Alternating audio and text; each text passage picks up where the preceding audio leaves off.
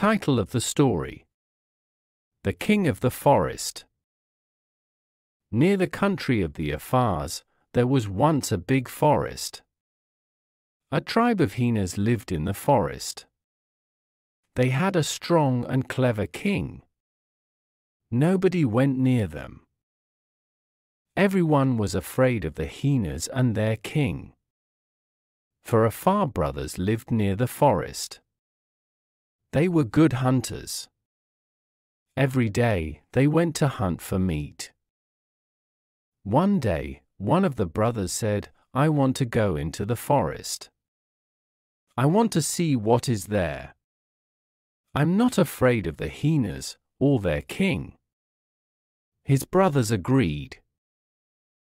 We want to see the forest too, they all said.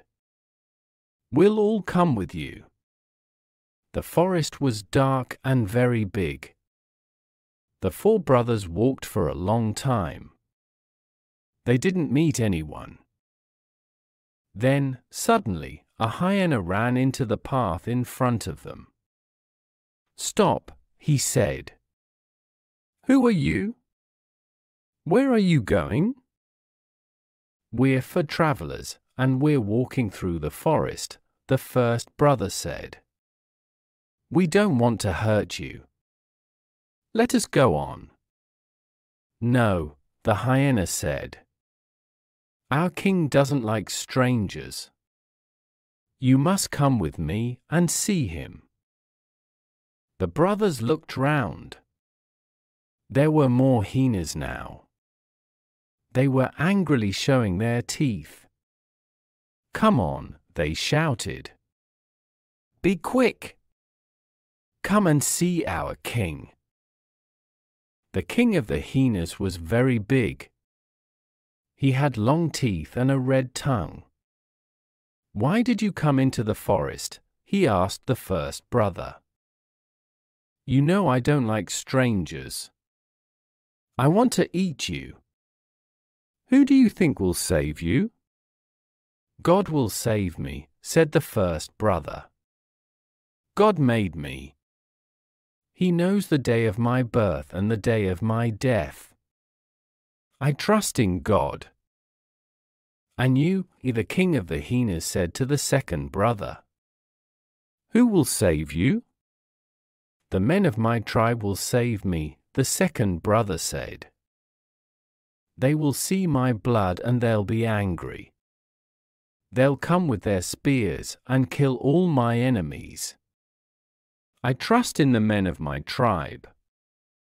What about you? the king of the hyenas said to the third brother. Who will save you? My mother, the earth, will save me, said the third brother.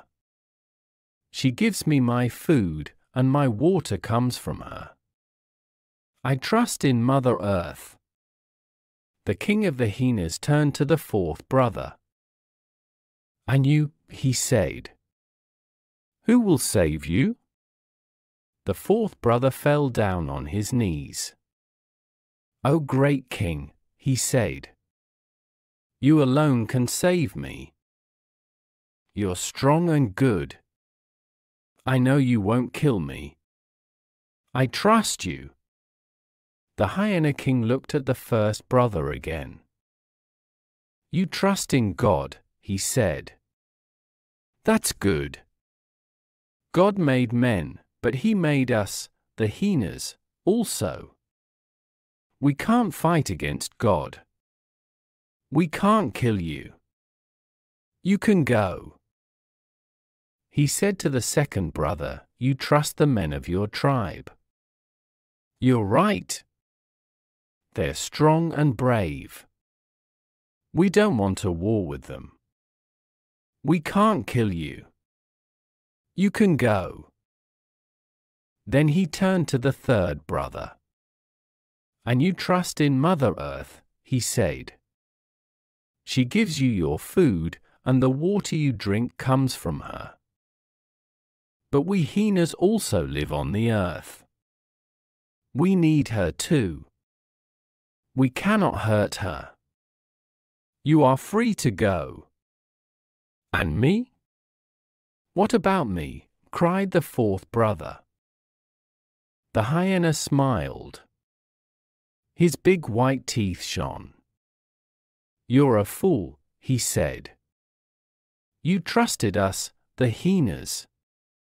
We can't fight God. We can't fight your tribe and we can't fight against Mother Earth. But we hyenas can fight each other. It doesn't matter at all. So the hyenas killed the fourth brother and ate him.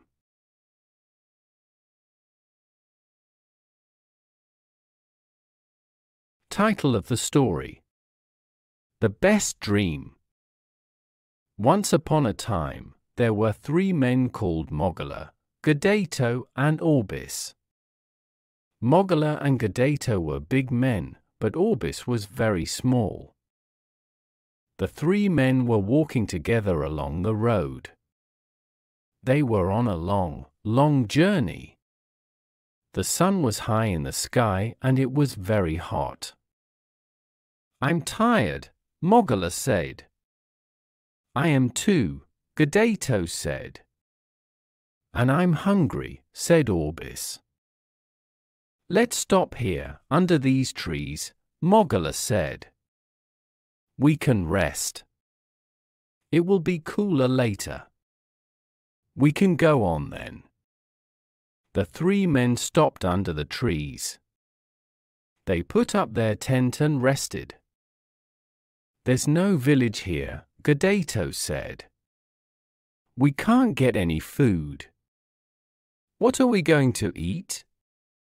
We have a goat with us, said Orbis. Let's kill it and eat it.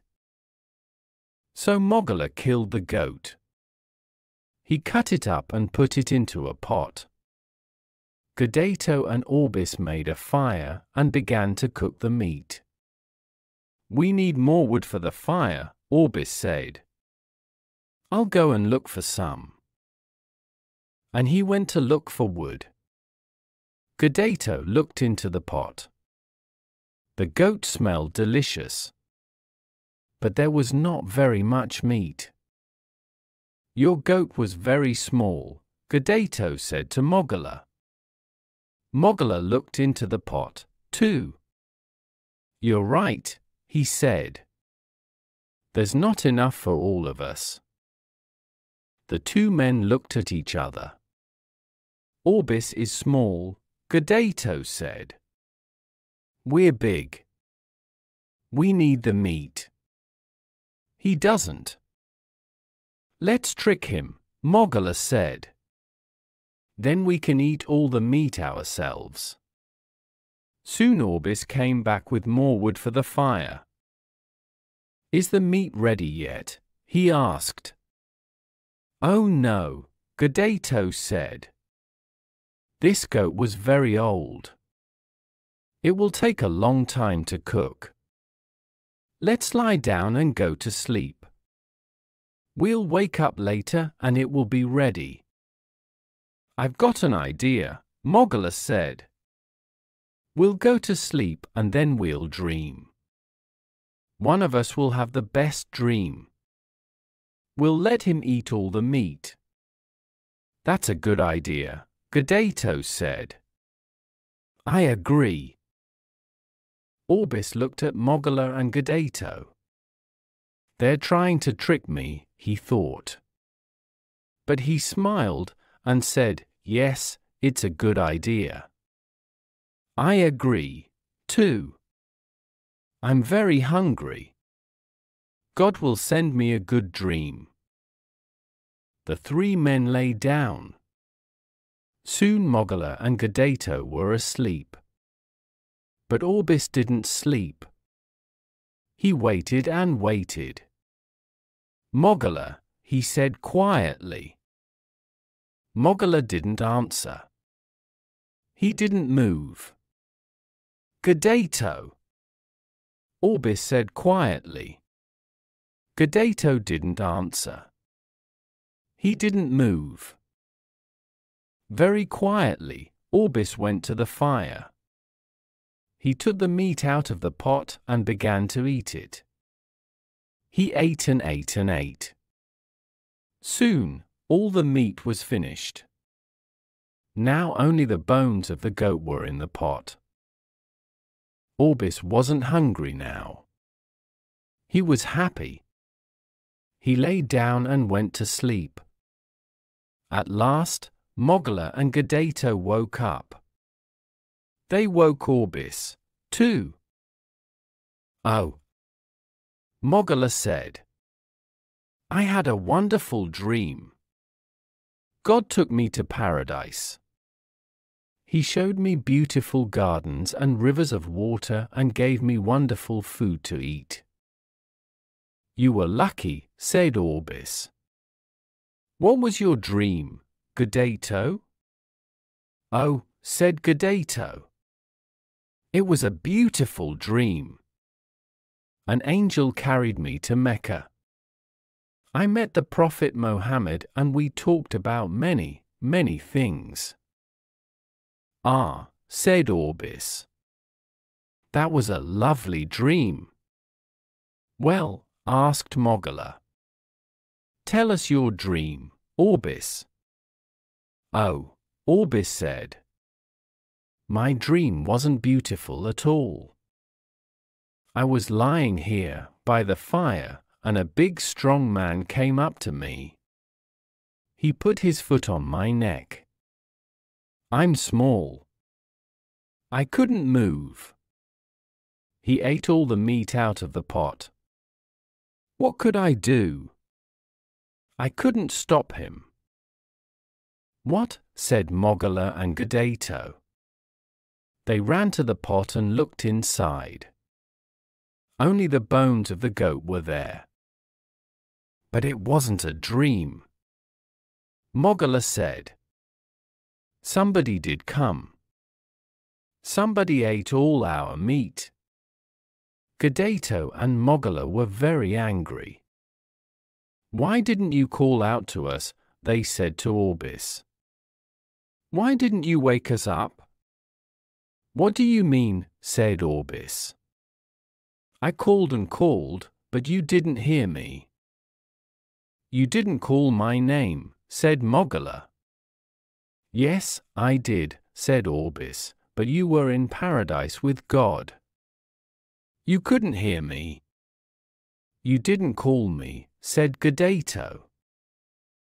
I did, said Orbis, but you were far away. You were in Mecca with the Prophet Mohammed. Gadato and Mogula looked at each other. Orbis is small, they thought, but he is not stupid at all.